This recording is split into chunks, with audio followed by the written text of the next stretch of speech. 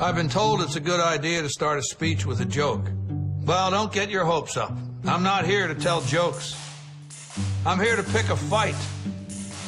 I'm here to pick a fight with second place. I have about as much patience for second place as I do for flies in my soup. But maybe you like flies in your soup. Maybe you like second place. Maybe you like that you gave it your best better luck next time, malarkey. They spoon feed runner ups. Let me put it another way. If you think second place ain't such a bad deal, why don't you ask Napoleon how he felt about coming in second at Waterloo? Not so good. Not so good. And you can spare me, it's not whether you win or lose or how you play the game bullshit. I guarantee you, whoever said that lost the game. Moral of the story? Come in first. Still want to hear a joke? Fine. Here's one for you. Knock, knock. Who's there? The guy that finished second. The guy that finished second, who? Exactly.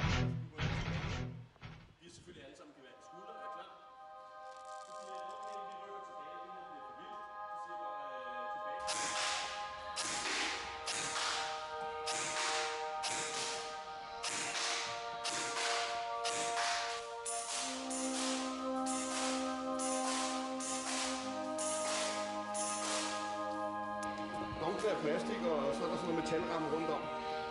Hvor er det de der, der er 200 liter stokken, den står så højt, at du kan stå og skyde ned. Åh, det er fedt. Og så anbringer han øh, en lad.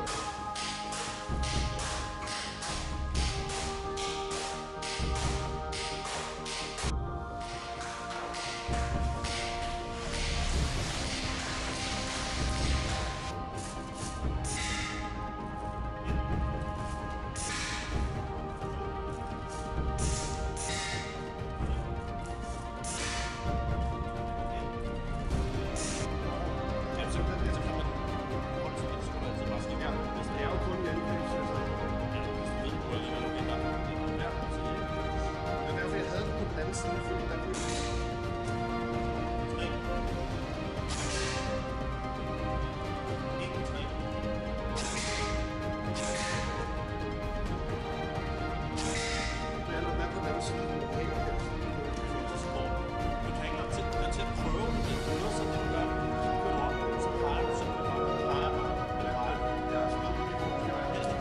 else.